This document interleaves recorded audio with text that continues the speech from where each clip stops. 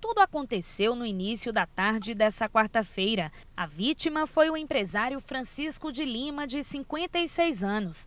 Ele estava no distrito industrial próximo à entrada do Alto do Moura, em Caruaru, acompanhado do motorista e da filha em carro próprio, uma caminhonete de cor prata, quando foi surpreendido por bandidos em um veículo vermelho. Os disparos foram apenas na vítima, que chegou a ser socorrida pelo motorista para o Hospital Regional do Agreste, mas morreu no caminho. O comerciante era natural de Martins, no Rio Grande do Norte, mas atualmente estava morando na cidade de Natal.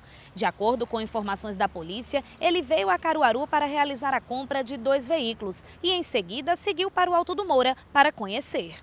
Muito assustado, o motorista do veículo conversou com nossa equipe sem se identificar e relatou o momento de pavor que presenciou. E quando a gente veio do almoço, eu mostrei o Alto do Moura a ele, que ele não conhecia.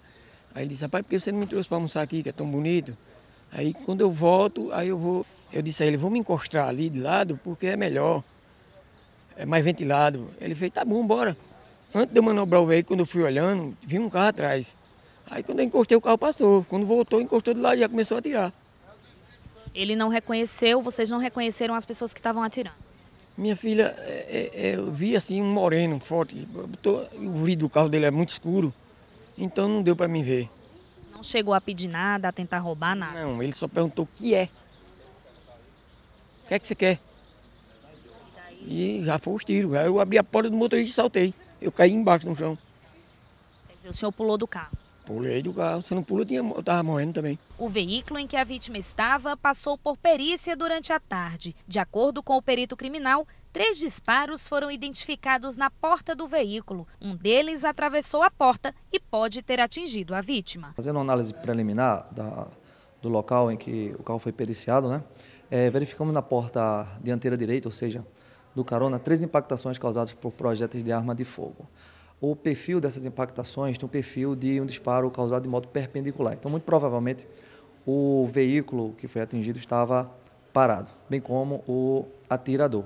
É, verificamos que duas, duas dessas impactações não conseguiram transfixar o veículo, porém uma delas sim atravessou a lateria e atingiu a vítima, tendo, vida que no, tendo em vista que no interior do veículo os estofados e, e toda a, a, parte interna não foi verificada outra, outra impactação ou perfuração do tipo. Porém, não é, descartamos outros, uma vez que verificamos o, o, vidro, fizemos uma análise também do vidro e, e conseguimos verificar outras impactações. Porém, é, provavelmente o vidro também poderia estar é, abaixado, ou seja, no interior da, da lataria da, da porta, né, de modo que ainda vão fazer todo esse estudo e aguardar o laudo técnico pericial para dizer de forma precisa como foi a dinâmica.